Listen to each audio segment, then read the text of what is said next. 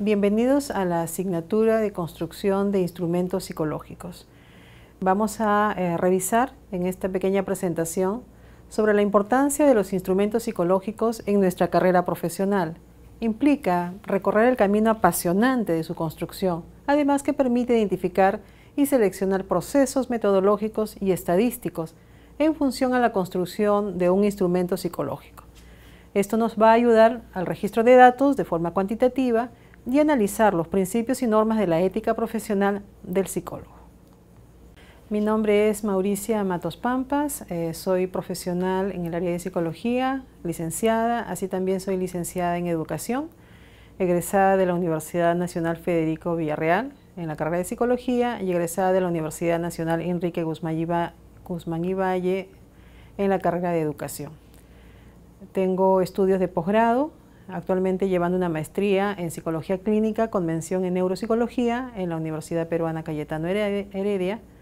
Tengo una maestría con mención en docencia en el nivel superior, eh, dada por la Universidad Nacional Mayor de San Marcos y eh, doctorado concluido en Ciencias de la Educación en la Universidad Nacional Mayor de San Marcos. Además, se lleva una especialización en educación inclusiva y atención a la diversidad por la Universidad Pontificia Católica del Perú. Dentro de mi experiencia laboral he trabajado como docente de pregrado en varias universidades, dentro de ellas la Universidad Autónoma. También he sido docente de pregrado en la Universidad de Ciencias y Humanidades. He trabajado dentro del área de formación en habilidades interpersonales a nivel de posgrado en la Universidad San Ignacio de Loyola Igualmente he trabajado como docente de pregrado en la Universidad Privada del Norte y he trabajado también desde las habilidades blandas en habilidades interpersonales a nivel de posgrado en la Universidad Peruana Cayetano Heredia. Así como también he sido formadora tutora virtual dentro del área de ciudadanía por la Universidad Nacional de San Martín. ¿Qué tenemos que esperar dentro de la asignatura? ¿Cuál es su trascendencia?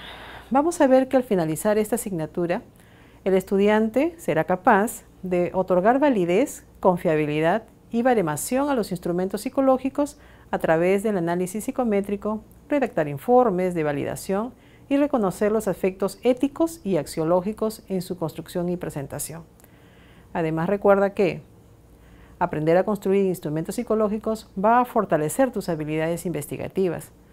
Recuerda que aprender, al aprender a construir instrumentos psicológicos, vas a ingresar a un mundo fascinante de la ciencia psicológica. Esta asignatura se organiza en los siguientes aprendizajes. En la primera unidad vamos a desarrollar sobre evaluación y medición de la, en psicología.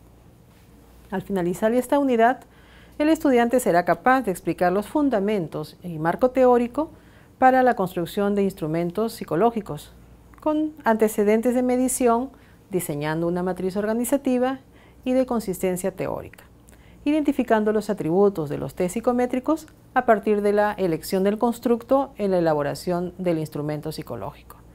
En el desarrollo de la segunda unidad vamos a revisar los ítems en los instrumentos psicológicos, en donde el estudiante será capaz de aplicar las pautas para la redacción de los ítems y la puntuación en los tests reconociendo la importancia del proceso de validación como parte de esta adaptación y estandarización de los tests.